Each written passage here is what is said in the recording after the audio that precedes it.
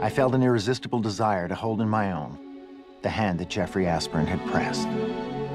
He had been one of the most brilliant poets of his day. His early death had been the only dark spot in his life. Mr. Edward Sullivan, Seamus Bordereau. I thought I might find lodgings here. I can't decide anything. I must see my aunt. His interest in some papers has become quite a fixed idea. Don't try to pay me any compliments. I've been spoiled in this respect. Tell me, how do you manage? Without hair, without movement? Why do you want to know us? She would never accept money for anything so valuable. Duplicity is my only course. I don't know what she has. She keeps her things locked up. Has your aunt always held you back so? She has a much easier life than I did when I was her age. What papers of value could they possibly have? They may contain some painful memories.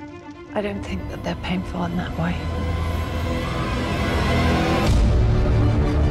What is it to find? The truth. You spy on me? You be careful, my friend. I spy on you.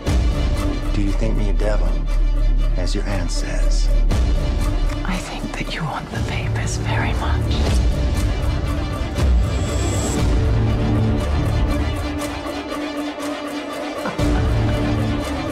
Do you think it's right to rake up the past?